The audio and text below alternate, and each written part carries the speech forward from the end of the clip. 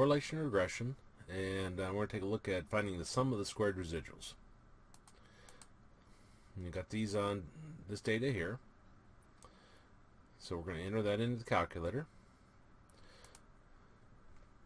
Now, if you're not under your application library, press your apps button.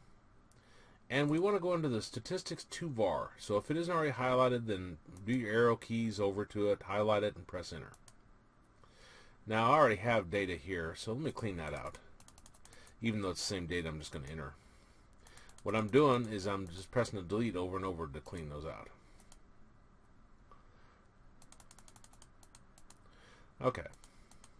Well, we're going to put our x values in C1, so 1 through 7.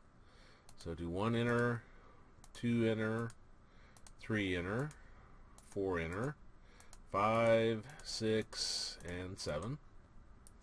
Gonna right arrow over, and then I put my y values in C2. So I got 12, 31, 45,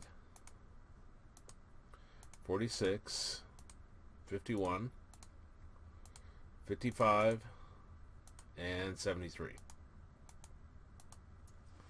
And let me double check those. It looks good. Okay.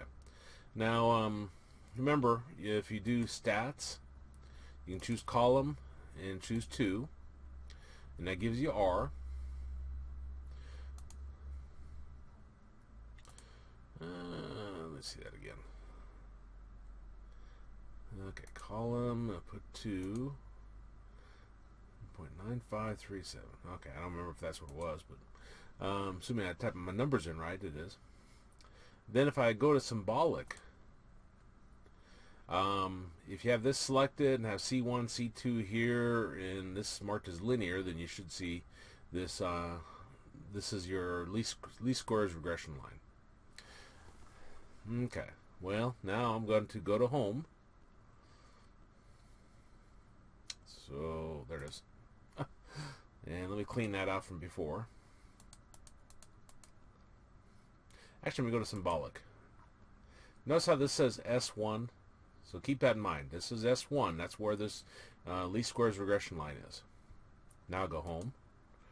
And um, I want to press my um, toolbox button, bring up the menu.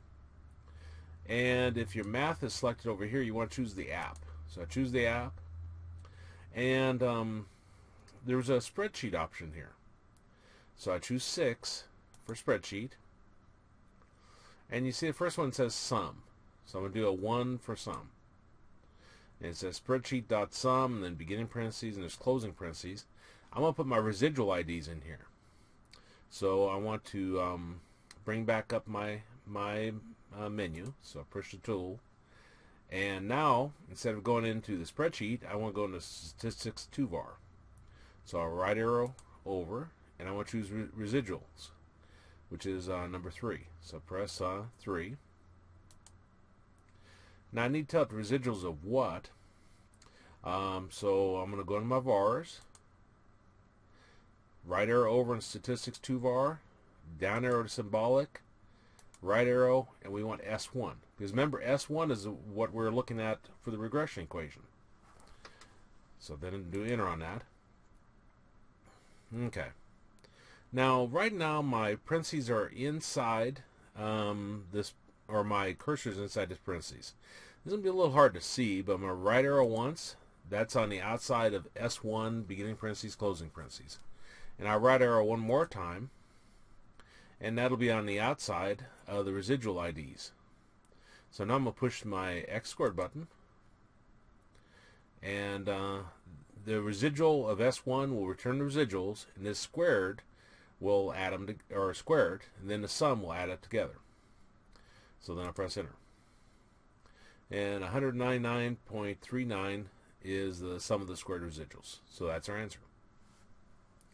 In this video, we took a look at how to find the sum of the squared residuals on an HP Prime graphing calculator.